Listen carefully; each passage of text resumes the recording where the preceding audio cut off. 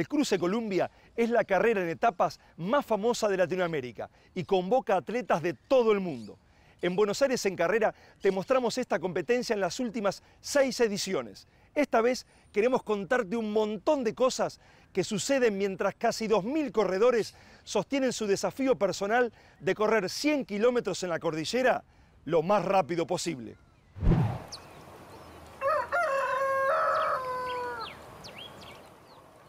Después, cuando ingresas, hay que, te tenemos que volver a timbrar el pasaporte. Ah, voy y vengo con el... Sí, sí, sí. tenés que- con los documentos y pasaportes en la mano. Así arrancaron la primera etapa del cruce Columbia los corredores que esta vez tuvieron que cruzar la frontera en el inicio de la carrera. El lugar elegido fue el único paso terrestre que une la provincia de Río Negro con Chile. Del lado argentino es la comarca de El Manso, por el río que la atraviesa, y del otro, El León. Entre ambos pueblos solo suman 350 habitantes, además de los miembros de Gendarmería y Carabineros que rotan en su estadía. Bueno, estamos participando, colaborando con la exclusión de la realización de este evento deportivo, este, brindando el apoyo a, personal de migraciones, cual se encuentra abocado a hacer los trámites de egreso e ingreso al país, y también colaborando en una cuestión de seguridad vial para que se desarrolle normalmente el traslado de los competidores hacia la zona de Puente Villegas. Para ordenar el paso de los corredores por la frontera, las largadas se fueron produciendo a medida que iban terminando el trámite migratorio.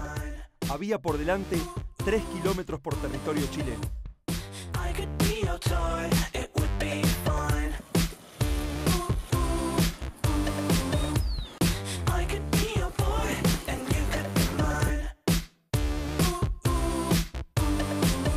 Estamos aproximadamente a 500 metros sobre el nivel del mar, lo cual nosotros llamamos una eh, media montaña, un sector de media montaña. Eh, en este sector de Chile estamos eh, inmersos dentro de lo que es la Patagonia. El paso El León es un paso fronterizo, eh, el cual está permanentemente resguardado por carabineros. Eh, diariamente pasan por este sector turistas de distintas nacionalidades que lo hacen de infantería. Después de avanzar por senderos irregulares de selva valdiviana en la base de los cerros, la llegada a la línea de frontera se coronó rodeando el hito puesto por los ejércitos de ambos países. Un monolito de hierro que quedó adentro de una chacra de un lugareño que tiene su propiedad entre Argentina y Chile. Venimos tres hermanos de, desde Paysandú, viajamos dos días para poder estar hoy en la carrera. Bien. Bueno, el lugar es espectacular, la verdad que, que- que no se ve nunca estas cosas y se ve que la carrera va a ser un poco, un poco dura por lo que se está viendo, por lo que empezamos ya. Mientras todos corrían y tenían por delante una larga primera etapa de casi 40 kilómetros en total, el campamento 1 esperaba, vacío y con el silencio de la montaña, la llegada de los aventureros.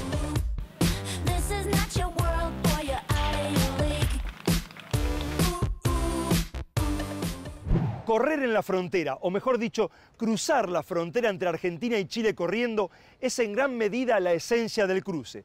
Sin embargo, el gran desafío es sumar 100 kilómetros durante tres días y con un terreno que puede tener subidas de más de 6 o 7 kilómetros de longitud. Por eso, para muchos, correr por primera vez el cruce es una incertidumbre en cada paso. Por esta situación pasó nuestro compañero Willy Quirós. Bueno, estamos en la etapa 1 del cruce en la frontera con Chile, a punto de largar mi primer cruce. Javier me va a ayudar. ¿Cómo está Javier? Está con un poquito de miedo, pero va a llegar, Willy. Calculamos que sí. Bueno, oficialmente largado el cruce en su edición número 16. Mirá la niebla. Decidir correr el cruce es todo un reto. Hay que dejar la comodidad de correr en un circuito llano, muchas veces ya conocido, en donde buscas velocidad por una experiencia totalmente distinta. Desniveles permanentes, climas cambiantes, elementos y equipamiento que no estamos acostumbrados a usar son algunas de esas cosas. Vamos un poquito más de 18 kilómetros. Ahora, 18.40 más o menos. Me acaban de salvar porque me quedé sin agua, me quedé sin comida y me estaba empezando a doler la cabeza muy fuerte. Me dieron comida, me dieron agua y acá estoy. Esto tiene la montaña, ¿ves? Solidaridad pura. Y acá sigo en carrera. Estoy pagando caro la inexperiencia. Tengo una mochila muy cargada de cosas sin sentido. No traje suficiente comida. Tendría que haber cargado agua en los arroyos. Y bueno. Pero ahora estamos de vuelta en carrera. Cargué en un arroyo ahí. Comí. Y vamos a pasar esto, mira. Se me embarraron un poquito, ¿eh? Igual esto está muy, muy bueno. El balance de la primera etapa fue excelente, no solo por grandes paisajes y experiencias nuevas, sino por el aprendizaje. Correr con desniveles, ascensos y descensos es totalmente técnico y agotador, pero es de esas experiencias enriquecedoras. Hay muchísimas opciones y formas de correr en montaña, pero cuando uno corre, se da cuenta realmente de qué es lo necesario y qué no. Los consejos son muy válidos, pero la experiencia, acá, cuenta mucho. Mañana voy a salir a mi forma, con los elementos que yo elijo y desafiando mis límites. Mañana será otro día.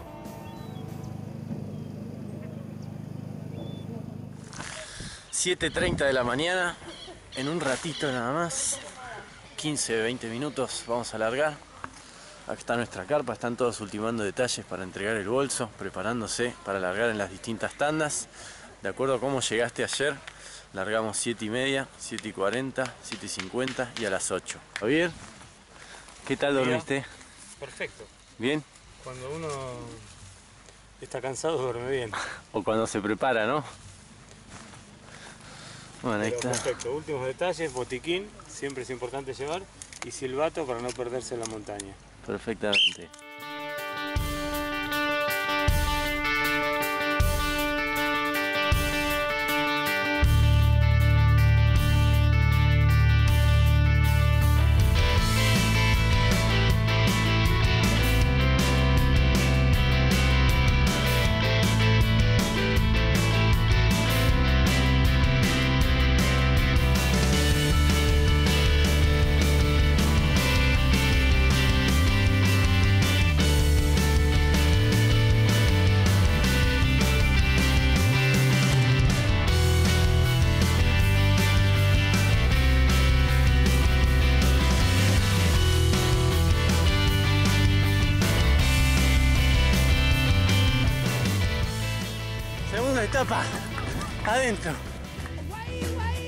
La segunda etapa. El chip ya cambió. Dormir en carpa y correr en estos paisajes te transforma. Hay muchos momentos solo que sirven para reflexionar y conocerse más. Lo comparamos con calle, en montaña quizás corres más lento, pero te conectás más con vos mismo.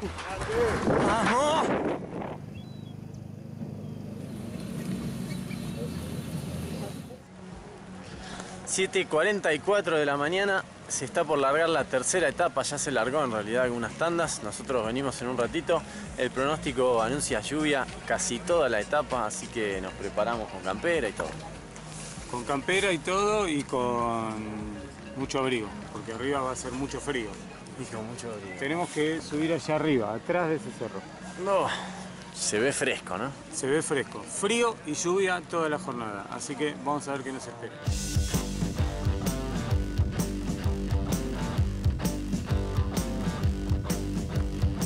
Allá el oasis, que es el puesto de hidratación.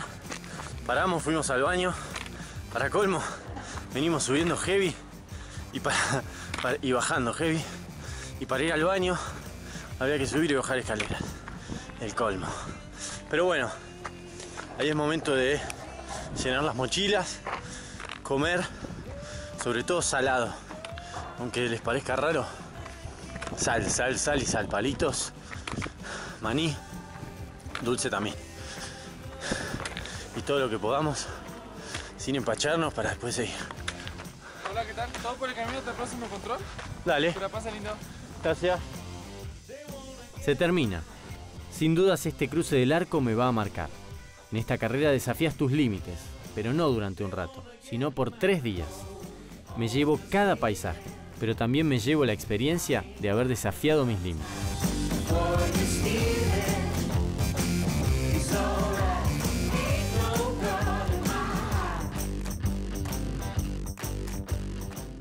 Si corriste alguna vez en la montaña, sabes tanto como Willy que las diferencias con los circuitos de calle son muchas y muy diversas.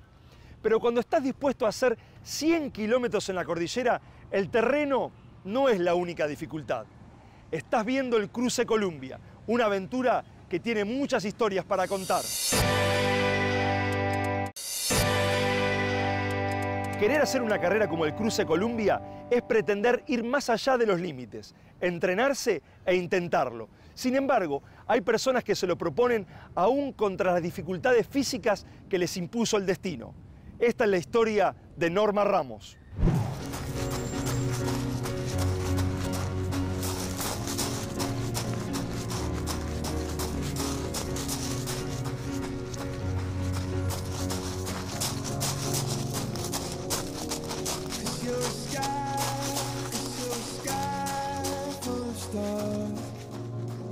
A los 45 años eh, me agarra mi primer eh, ACV, la cual me deja con una parálisis del lado izquierdo, en la cual ahí empieza mi, otra, mi otra vida, porque me cambió la vida a un giro de 90 grados. Eh, al año, digamos, de, haber, de, de haberme ocurrido el ACV, eh, empiezo a competir en silla de rueda.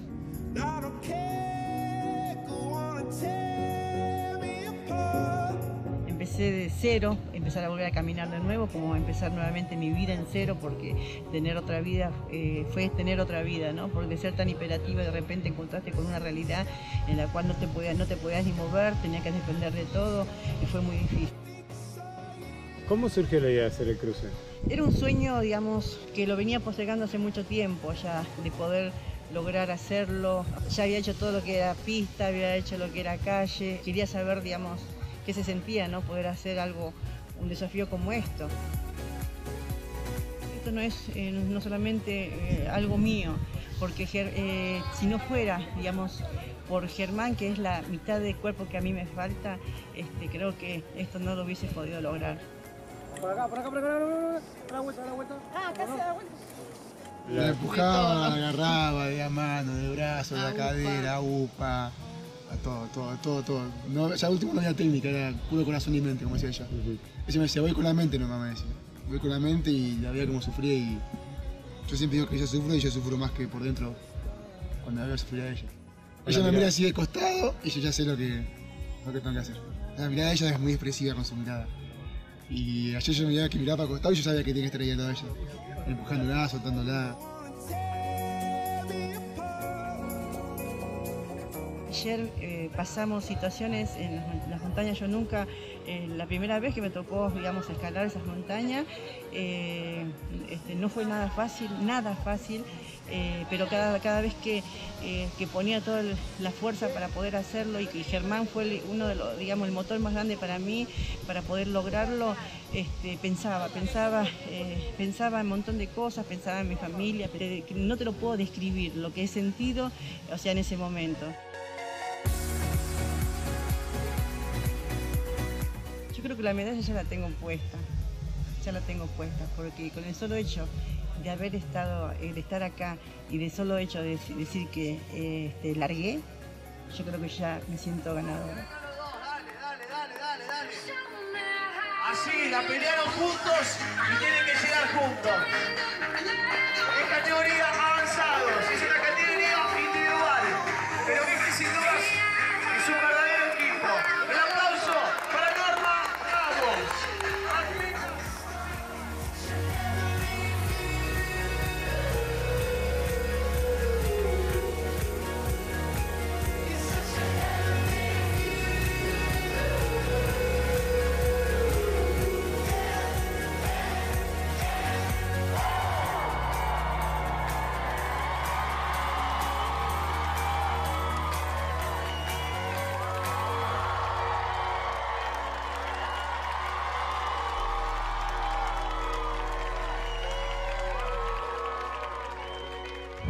Después de 16 años, la logística que la organización del cruce arma para cada carrera es cada vez más compleja. Cientos de personas trabajan para que durante siete días, entre acreditación y competencia, casi 2.000 corredores lleguen a la meta y cumplan con su objetivo.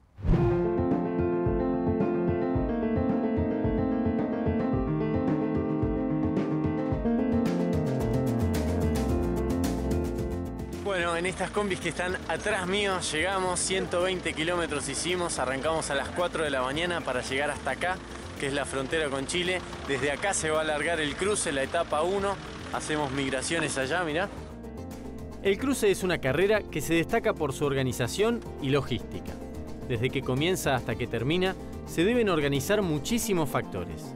En la etapa 1, por ejemplo, el traslado desde el Cerro Catedral hasta el Paso El Manso, largada chilena, en micros de 40 personas. Migraciones, la organización del recorrido, marcar el circuito, instalar el oasis con hidratación y comida para todos.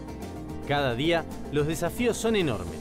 Uno de los más importantes es la organización y el abastecimiento de los campamentos, el lugar donde los corredores comen, duermen y pasan gran cantidad de tiempo. Ahí está el arco de llegada a mis espaldas y cuando uno llega justamente cruza el arco y llega acá, a mis espaldas. Le dan el bolso, le asignan la carpa y tiene que ir con su bolso a la carpa asignada. Ese es el sector de carpas. Tiene distintos sectores asignados, bueno, sector de hidratación, sector de carpas, sanitarios, mira.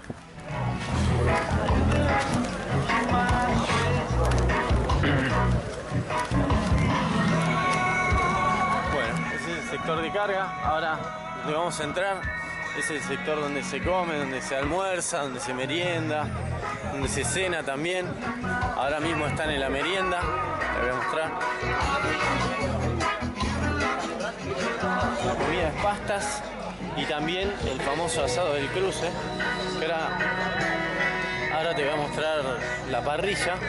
Aunque en este momento hay asado por si querés comer, pero están en una etapa de descanso para hacer lo que es el asado de la cena, que se come a partir de las 9 de la noche, 8 y media más o menos.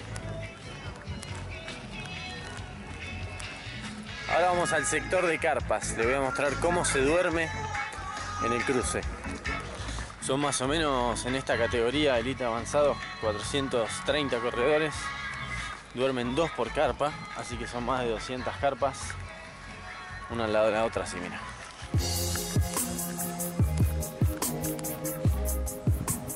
Carpa de Buenos Aires en carrera, ropa colgada, zapatillas.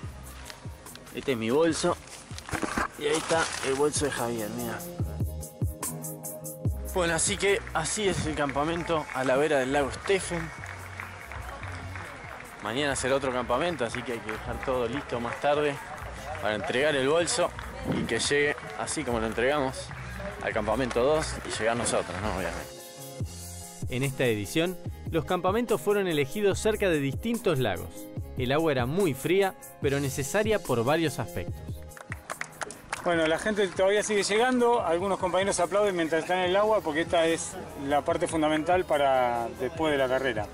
Meterse al agua para recuperar un poco el músculo. Exacto, es- hace mucho calor, hizo mucho calor durante toda la etapa, así que para recuperar el músculo, para refrescarse un poco y bueno, también para bañarse, ¿por qué no? La gente está más que todo tomando siesta, estirando y bueno, descansando para mañana reponer las piernas y seguir. El campamento 2, ubicado en el camping Los Baquianos, tenía similares características al campamento 1. El desafío es resolver las necesidades de todos los corredores. Para esto, los voluntarios cumplen un rol fundamental. Esta edición fueron más de 100, que vinieron de 13 países distintos. Contame por qué te acercaste al cruce, por qué te interesó ser voluntario. Eh, primero que nada por la experiencia que uno vive acá, ¿no? Eh, está muy lindo, aparte siempre hay lugares nuevos. siempre se forman lindos grupos, hay mucha colaboración entre nosotros también. Y es una, primero que nada, muy linda experiencia. ¿Te interesa correr? ¿Te gusta correr? Sí, me gusta mucho el deporte. eh, estoy prepar- quiero prepararme en un futuro para correr un cruce, ¿no? Sería Ok. lo ideal. Bueno, y ya estás viendo cómo es todo. Sí, está viendo, también está bueno verlo desde la parte de, detrás del mostrador, por decirlo así. También Mucho lo que es ayudar a los corredores, ayudar a servir, ayudar a hacer distintas cosas. Están en todos lados, están en el recorrido, en las comidas, cuando llegaste te llevan el bolso, es decir, están atentos a todos los sectores que puedan necesitar algo y ellos están ahí. Además de estar presentes en las etapas durante el recorrido, se instaló una carpa médica en cada campamento, con insumos y materiales para lesiones y primeros auxilios. Javier, el productor del programa, pasó por ahí después de torcerse el tobillo corriendo la etapa 2. ¿Te molesta? Sí, molesta un poco. Molesta, pero no, no me vuelve loco. O sea, de hecho me torcí kilómetro 21 y lo terminé. O sea, con dolor la primera media hora, pero después. Ahora, no, si presionás, sí. No te... Le puse crema caliente, ¿viste? No, cuando estaba arriba. Para seguir, crema caliente. Ahora ponete hielo y ahí te un analgésico para que tomes. Ok. Bueno, podés seguir. Sí, parece que mañana con cuidado podré seguir. Los organizadores deben abastecer y armar los campamentos para más de 2.000 corredores, trasladar los bolsos en cada etapa, llevar a organizadores y periodistas por todo el recorrido en cada circuito, diseñar y marcar cada recorrido con los puestos de hidratación, médicos y voluntarios en altura y resolver imprevistos, como cuestiones climáticas.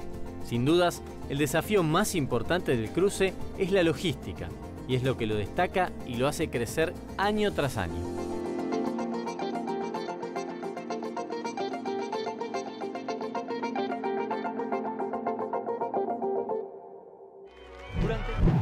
Como en otras carreras de montaña, el Cruce Columbia lleva a todos los corredores a la cima de algunos cerros de la Patagonia.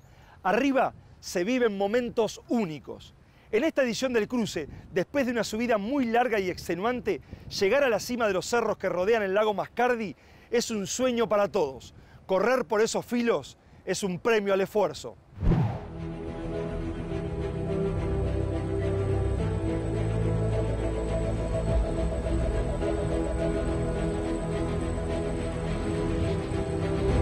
Para todos los corredores de montaña, estar arriba de un cerro es un momento sublime. Es el instante en el que no solo se mezclan las emociones, sino que además representa un momento de gran entusiasmo.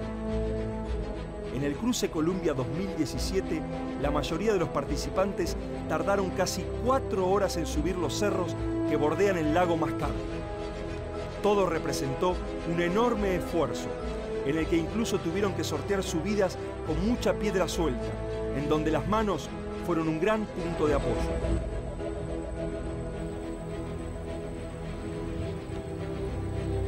La etapa de hoy fue realmente durísima, muy muy técnica, mucha piedra, eh, una subida increíble eh, que no terminaba más después del kilómetro 12 eh, hasta el kilómetro 15 más o menos, fueron 3 kilómetros, 4 que fueron una pendiente muy muy muy abrupta y bueno, esa parte se hizo muy brava hasta llegar a la cima del cerro.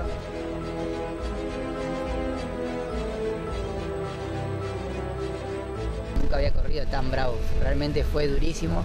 Eh, yo creo que todo, a todos los que le preguntes te van a decir lo mismo, fue muy pero muy dura.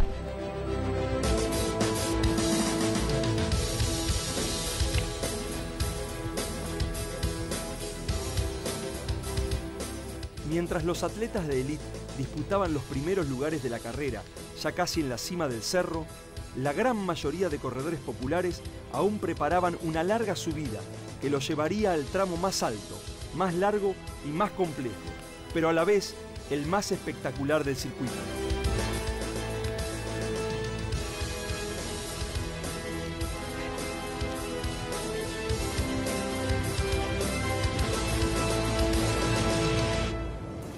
Van a transpirar mucho trepando, con lo cual sáquense. eh, ¿Térmica también? si venían con calor, sí. No sé, cada uno es. Sí, sí, no, bueno. Líquido porque ahora por 12 kilómetros no hay agua, ¿eh? For the next 12 kilometers, there's no work. Awesome. And it will be hot. Okay, thank you. Subir a la cima de un cerro puede llevar muchas horas. Por eso la recomendación de hidratación y alimento. Pero en este caso, la advertencia estaba dada en que no habría ni siquiera un hilo de agua en la altura. Carguen por 12 kilómetros. Bien provistos, los corredores del cruce Columbia llegaron al punto cumbre, el filo.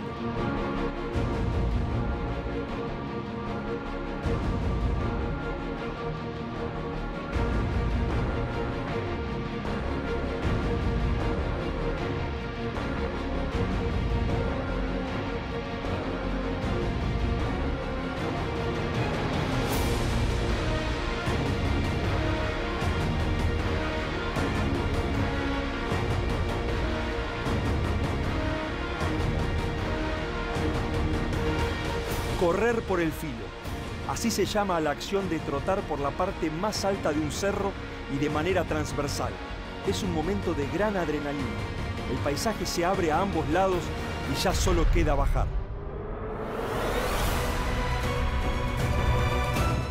Cruce la segunda etapa de este año 2017. Eh, la verdad que bueno, hace seis años que corro y esta para mí fue la más dura de todas. La verdad que los paisajes increíbles, estar allá arriba, la verdad que fue hermoso. Bueno, pero hubo que hacer un gran esfuerzo para disfrutar esos, esos paisajes. Hoy fue una etapa muy especial.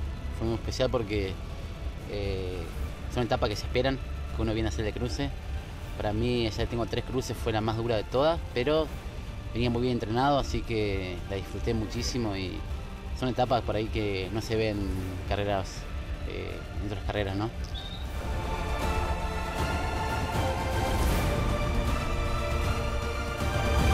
Correr en la altura de un cerro es la esencia de una carrera de montaña. Es llegar a donde los límites se vencen. Es hacerlo con pura voluntad. Es alcanzar un camino por el que poca gente transita. Durante tantos días de competencia, mucha gente corre el cruce por distintos motivos. Muchos otros pasan por momentos de zozobra y luego se recuperan. Quédate ahí, porque tenemos mucho más sobre el Cruce Columbia 2017.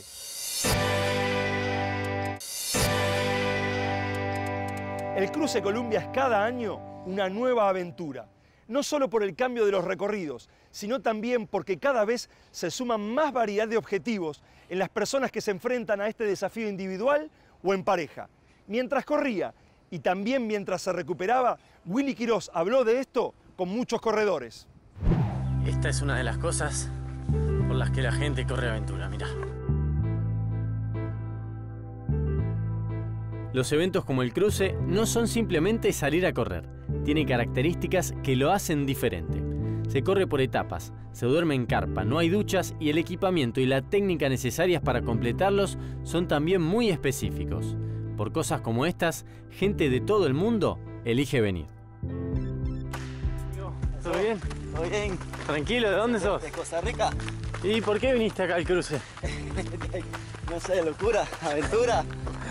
¿Te gusta correr en aventura? Claro. ¿Qué te motiva a correr por acá? Por estos lados conocer. Primero lo- el lugar, ¿no? Sí. El lugar tan impresionante es. Eh, correr fuera del país. Luego, a nivel personal, de la satisfacción de llevarme tanto riqueza que hay aquí alrededor hacia mi país. Y a nivel personal, ¿no? El crecimiento, imagínate. A partir de ahora, cuando termina esto, no voy a ser la persona que llegó. No. Voy a ser otra persona diferente, con más sabiduría, con más riqueza. No sé, Impresionante. ¿Qué te parece Argentina hasta ahora? lindísimo, oye. Bellísimo. Estuve en Buenos Aires, una ciudad preciosísima. Y lo que es Bariloche, el Cerro Catedral, espectacular. Espectacular, bellísimo. Excelente. ¿Tienen carreras así en Costa Rica o no? Sí, claro, claro, sí hay carreras, hay muchas carreras. Cada rato hay carreras, pero claro, mira que no tenemos este paisaje. Hay un buen paisaje en Costa Rica, sí. Tenemos mucho, mucho verde, pero no vivimos cosas así. ¿Ves? Lagos, esos árboles tan grandes, cosas así. Ven, Exactamente. Qué lindo, ¿no? Estar acá disfrutando Ah, de esto. Sí, claro, único, mano. Mira, no es cualquiera. Puedo ir allá a mi país y decir, ah, yo corrí, corrí el cruce. Puede haber muchos, muchas carreras y todo, pero los paisajes que, se pueden llegar a descubrir acá no hay ningún lado. Ninguna carrera lo- lo- los da, ¿no? Así que a disfrutarla, a disfrutarla con todo y bueno, esto es único. Es increíble. Increíble estar acá en la nada lo lindo que se siente, lo bien que se siente. Algo característico de esto es que eh, nos pone a todos en un mismo nivel Sí. de, de compañerismo y de seguir adelante y nos olvidamos de nuestras rutinas y eso está bueno. Está bueno. Sí, está- es distinto correr- que correr en calle, ¿no? Hay más compañerismo. Claro, yo corría en calle, pero dejé por el tema de que era muy competitivo y realmente eh, prefiero eh, en la aventura, en las carreras de aventura, lo que logré fue mucho compañerismo. Los paisajes de la carrera son increíbles en todo momento, pero correr por los filos de las montañas es todavía más impresionante. A veces hay subidas sostenidas durante horas que te llevan a más de 2.000 metros de altura para caminar por el pico tan solo unos minutos.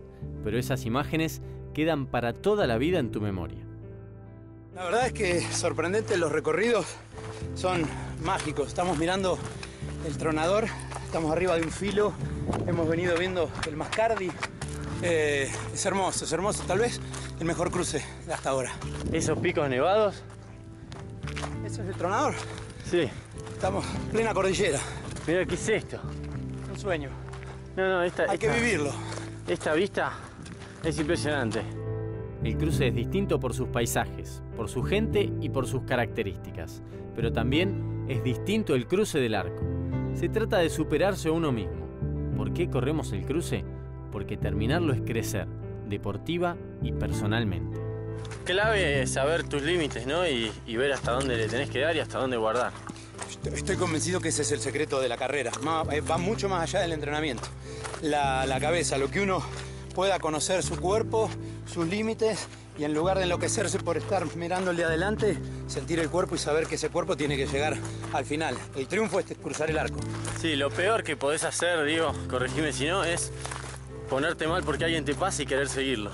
Exacto, porque es, cada uno va contra uno mismo. Acá, salvo los chicos de adelante, ¿no? Por supuesto que la elite está peleando la punta, pero los que estamos en el medio estamos disfrutando y el triunfo es cruzar el arco y decir, lo logré.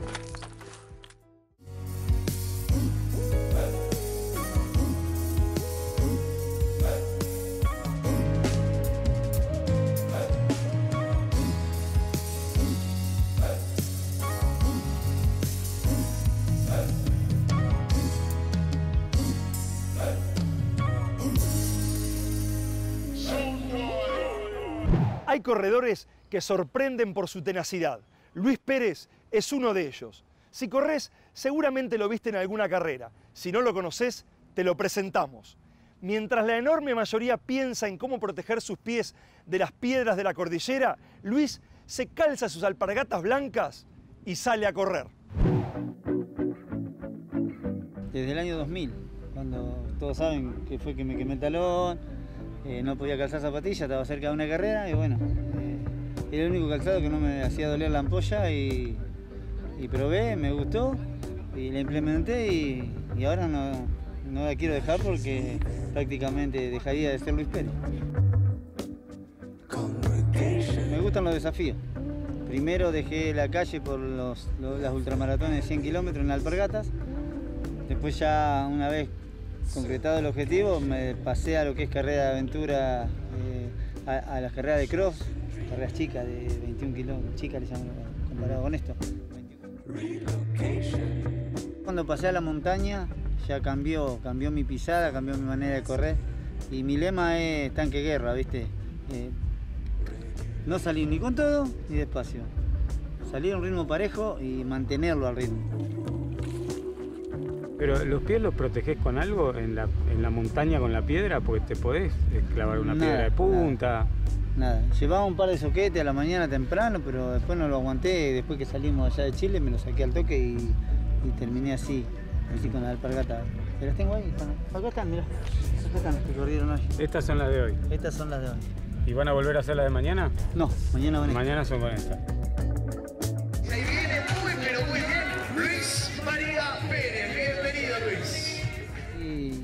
Muy grande que no solo estar acá, sino el reconocimiento que me hace la gente acá, los corredores, vos, eh, todos.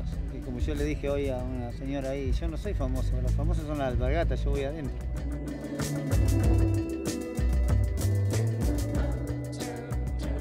El cruce Columbia tiene 100 kilómetros entre cerros, lagos, ríos de montaña y muchas otras sorpresas del terreno. El barro muchas veces te puede engañar. Mirá lo que le pasó a esta corredora.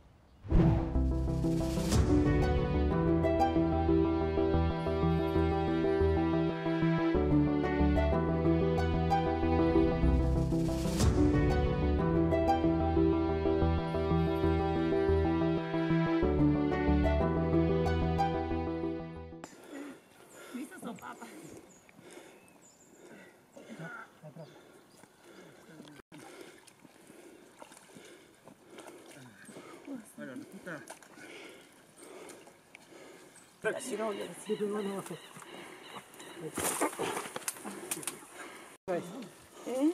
Apoyate así. Mm. Pasa que se me puso todo el barro en el, en el empeño. No puedo creer.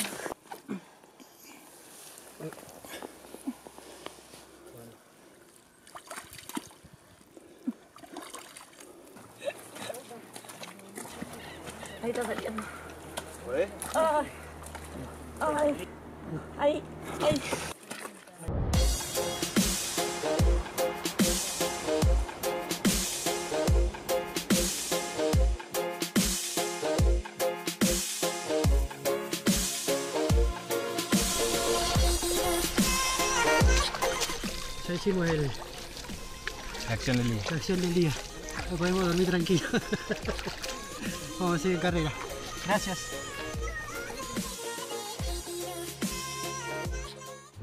Ninguna carrera está terminada hasta que se cruza la meta, y menos una tan larga como el cruce. Una trampa de barro como la que vimos te puede hacer perder mucho tiempo si no prestas atención dónde pisás. Por eso, llegar a la meta genera tanta emoción. Cuando volvamos, la carrera completa y el gran momento de la llegada.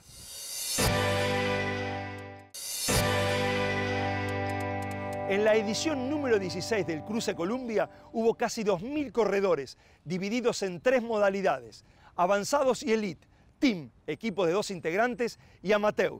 La organización trabaja todo el año para concentrar todo el esfuerzo en una semana, de la cual cinco días son de pura carrera. Las largadas de cada modalidad son escalonadas, una por día. Nuestros compañeros Willy Quirós y Javier Barbis largaron el primer día en la modalidad avanzados y tuvieron este registro de carrera.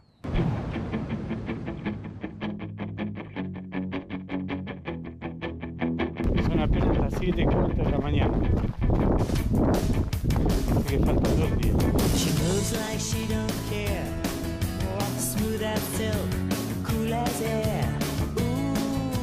El primer día del Cruce Columbia 2017 había comenzado muy temprano. A las 7 y media de la mañana ya habíamos terminado la carrera en su tramo chileno. Pero el día era largo y antes de ese tramo 2 de la primera jornada teníamos por delante un traslado en micro durante el cual muchos aprovecharon para un descanso que recupere al cuerpo del madrugón.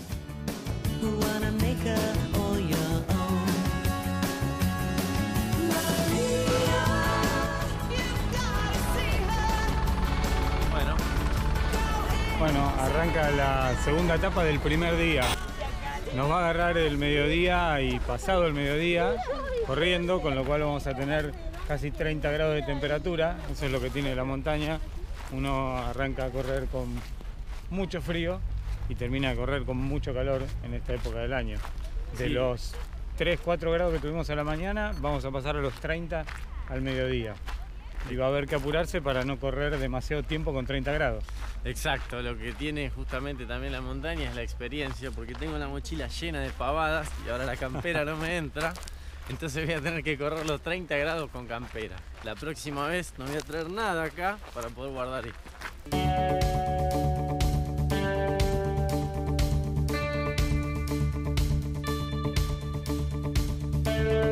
La primera conclusión un poco que uno va adquiriendo su propia experiencia, porque te puede contar cosas, pero uno sabe cómo quiere ir, de alguna manera, con qué equipaje quiere ir, qué le sirve, qué no, qué le gusta, qué, digamos, qué, qué le aporta en, en lo que necesita y para eso hay que correr por estos lugares, no hay otra.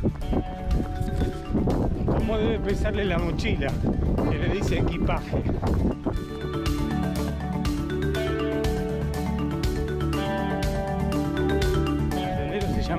Huella Andina. Son los primeros 10 kilómetros y medio del día de hoy. El sendero está marcado con banderitas, pero además hay que seguir las cintas. ¿No, compañera? Así es, amigo, dale, vamos, vamos. Hay que seguir las cintas. Bueno, Willy se quedó atrás. Dicen que en la primera carrera de montaña hay que dejar a cada uno hacer su experiencia. Así que cuando entramos en el circuito,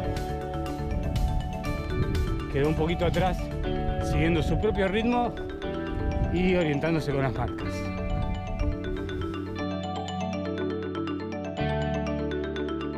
¿Me contás de dónde sos? Tenerife. De Tenerife. España. España, muy bien. Y he venido exclusivamente por la carrera. ¿Y es la primera vez que vienes a Argentina o a la Sí, Patagonia? la primera vez que vengo a Argentina. ¿Y? Vine sola a esta aventura. ¿Sola? Sola. ¿Y qué te ha Nadie de mi parecido? equipo quiso venir. ¿Y qué te ha parecido? De momento bien. ¿Te ha gustado? Controlando porque es una etapa que invita a correr, pero quedan dos. Allí en Tenerife haces trail también. Sí, sí. Tenemos buenas carreras. ¿Y has hecho carreras de ultra distancia como esta?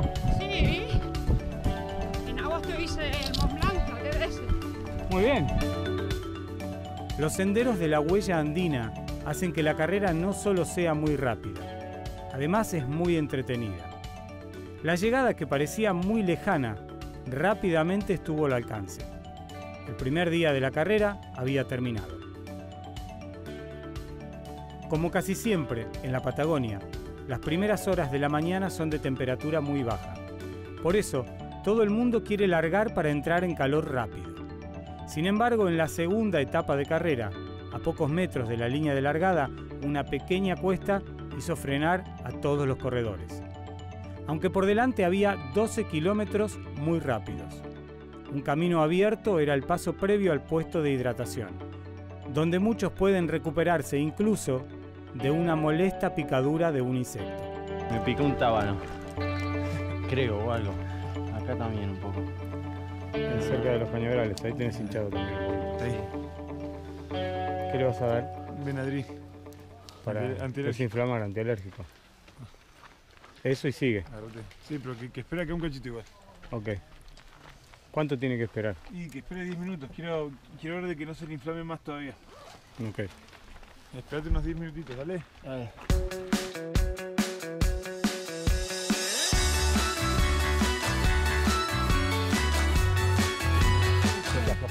¿Y el señor viene de España? Sí. Mientras le arregla el bastón, ¿de qué parte de España viene? La solidaridad de un compañero de carrera puede ser vital para que alguien se recupere de un mal momento, incluso cuando la posibilidad de abandonar haya sido evaluada como algo probable. Que la pasé. Cuénteme, cuénteme, cuénteme acá, cuénteme acá. Usted que es un maestro Me de la contaron montaña. hasta nueve. ¿Qué Y me pasó? levanté. Un día malo, en realidad ayer me hidraté mal y si bien me estaba sintiendo bien cuando cambié en el frío del río, me dieron unos calambres y hoy a la mañana cuando arranqué lo pagué, seguro estaba cargado de ácido láctico. Eh, los 3, 4 primeros kilómetros no, el cuerpo no quería correr, no había maneras, no había manera. Eh, pensé seriamente en dejar la carrera, le pregunté a un banderillero dónde estaba el segundo campamento, o sea, era verdad. Y bueno, después me desperté, acá estoy. Bien. Muy contento. Bueno, pero eso es para que la gente lo tenga en cuenta, que piensa que el primer día terminó bien y ya está, ¿viste? No, no, todavía está- ya pasamos la mitad de la segunda y todavía esto no terminó. Con lo cual hay que estar siempre atento a todo. Cuidar el cuerpo, no regalar nada, eh, no correr a nadie porque es con uno mismo y pensar en el último arco de llegada que es el que vale. Señores, de allá venimos, de la punta del lago. Willy. Vamos casi kilómetro 14. Muy útil, gracias Javier. Venimos subiendo, nos quedan 3 kilómetros de subida. Creo que es este regalo de Dios. Este es impresionante. ¿Sí? Porque toda la gente, cuando, la gente viene agitada y subiendo, eh, el único este, aliciente que tiene es llegar a estos lugares que no se llega de ninguna otra manera si no es en este tipo de carrera, con un sendero que fue especialmente abierto para la carrera. O sea que por acá venís a hacer la carrera y tenés ese paisaje, si no, no tenés el paisaje. Llegar en el segundo día del cruce Columbia es ya tener una buena parte de la carrera cumplida. Sin embargo, la tercera etapa está por delante y con la incertidumbre de cómo será el amanecer del día siguiente.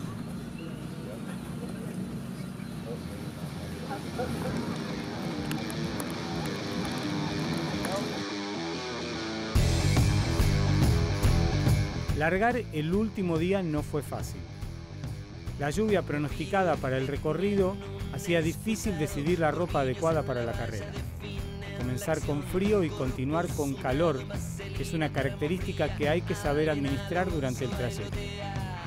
Además, había que prepararse para la subida más prolongada de todo el cruce.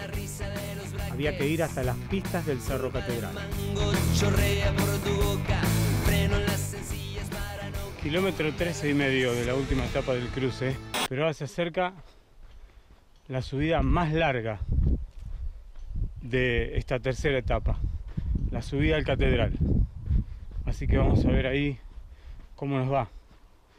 La gente tiene que, en general, no gastar fuerzas de más.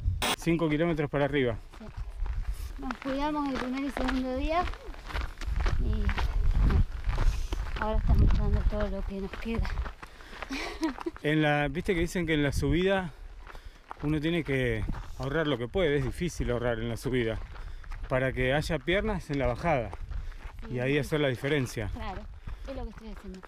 Pero te das cuenta si ahorras algo, porque uno dice, uno va y va y va.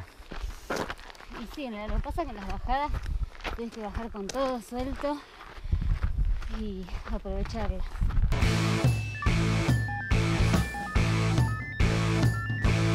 Más o menos corta. 6 kilómetros por ahí. Salió el sol, la campera, la mochila y seguimos. Una vez arriba, el mal clima que se había pronosticado fue aún más complejo de lo previsto. Pero a eso habían ido todos. No sé cuánto se escuchará el viento, pero acá estamos cerca de la cima del catedral. Estamos en la parte más alta de la carrera. Mucho,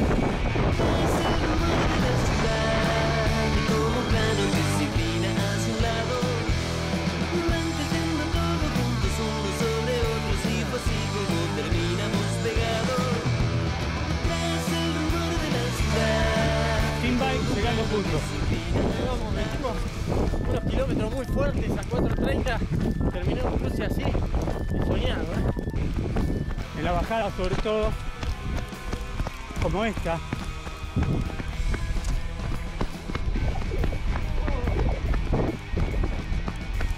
Subimos 6 kilómetros de esta bajada, entonces vinimos rápido. Allá está la llegada. Primer cruce. Primer cruce, primera experiencia. Increíble. Terminar el cruce Columbia implica haber pasado por un montón de estados de ánimo y haber sorteado muchas dificultades. Por eso, quien la corre por primera vez se queda con una experiencia que quiere volver a vivir.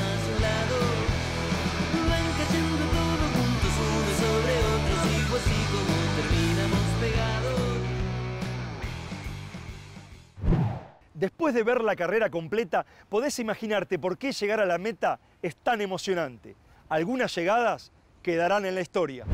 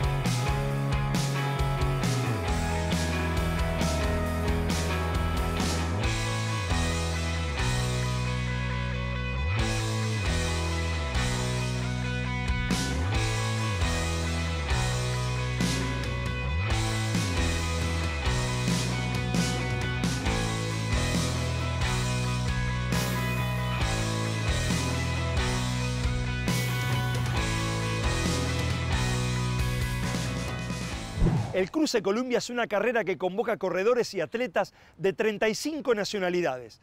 Es la única con una modalidad en etapas y que une dos países.